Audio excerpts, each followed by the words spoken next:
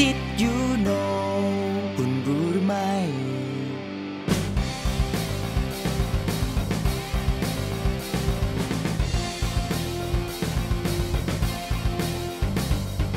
ทำไมไข่ไก่มีแค่สองสีทำไมสงสัยสองข้อคุณนายนิ่ม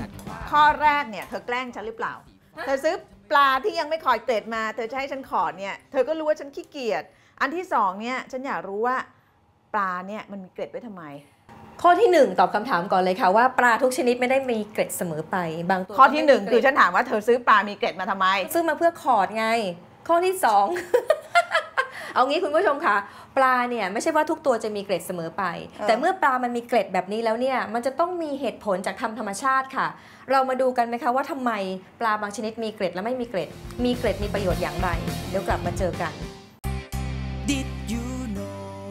เคยสังเกตกันไหมคะว่า ปลาที่เราเลี้ยงไว้ดูเล่น หรือแม้แต่ปลาส่วนใหญ่ที่เรากินทำไมมันถึงมีเกล็ดล่ะคะ เกล็ดของปลาถ้าจะให้เปรียบง่าย ๆ ก็เหมือนกับเสื้อเกราะนิรภัยนั่นเองนะคะ ปลาบางชนิดมีเกล็ดหุ้มอยู่ ทั้งแต่หัวลำตัวและหาง บางชนิดก็มีอยู่แต่แค่ตัว แล้วก็หาง ปลาส่วนใหญ่จะมีเกล็ดเอาไว้เพื่อป้องกันตัวจากสิ่งที่อาจทำอันตรายกับมัน ไม่ว่าจะเป็นป้องกันไม่ให้เชื้อรา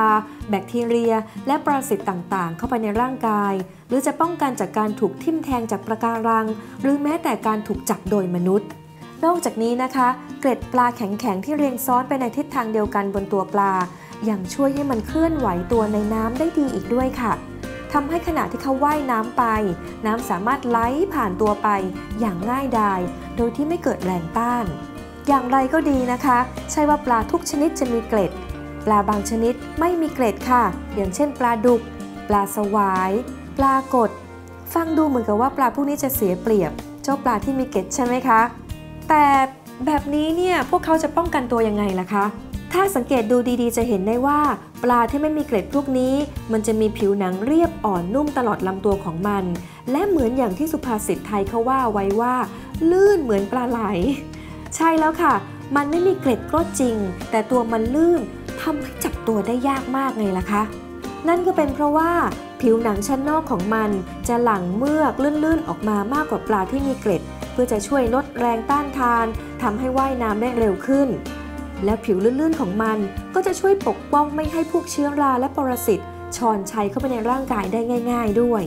อย่างไรก็ดีนะคะ ปลาบางชนิด เช่น ปลาฉลาม เราก็อาจจะคิดว่ามันเป็นปลาไม่มีเกล็ด แต่จริง ๆ แล้ว เกล็ดของมันเนี่ยเล็กมาก จนต้องมีการมองผ่านกล้องจุลทรรศน์ หรือต้องเอามือลูบไปในทางตรงกันข้ามกับการเรียงตัวของเกล็ดมัน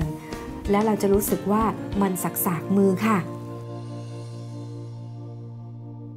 ทีนี้ก็ทราบแล้วนะคะว่าเกล็ดปลานั้นเนี่ยมันมีประโยชน์อย่างไรนะคะ นอกเหนือจากนั้นค่ะกรุณาค่ะทำไมเราสามารถบอกอายุของปลาได้ด้วยจากเกล็ดของมันด้วย เหมือนกับวงปีของต้นไม้ใช่ ต้นไม้เวลาเราตัดมาเรามันจะเป็นวงๆใช่ไหมอันนี้ก็เกล็ดของมันก็บอกได้ด้วยคล้าๆแต่ทีนี้มันขึ้นอยู่กับการเรียงตัวของเกล็ด หรือว่าชนิดของปลาด้วย ซึ่งจริงมันดิน่าจะเป็นคำถามในคราวต่อไป วันนี้เวลาของเราหมดแล้วนะคะคุณผู้ชกันมนี่สักประมาณกี่ปีอันนี้อันนี้บอกไม่ได้เท่าที่เห็นในยประมาณร้อยร้อยกลีดให้ผู้เชี่ยวชาญบอกแล้วกันใช่แต่เอาเป็นว่าเกล็ดของมันบอกอายุได้ ใช่คราวต่อไปแล้วกันค่ะคุณผู้ชม คุณผู้ชมคะอย่าพวกทิ้งพวกเราไปนะคะ เขียน Facebook Twitter แล้วก็อีเมลมาหาพวกเราด้วย เราจะหาคำตอบมา วันนี้ลาไปก่อนนะคะ Amazing จะไปขอดเกล็ดบ้างสวัสดีค่ะ Did you know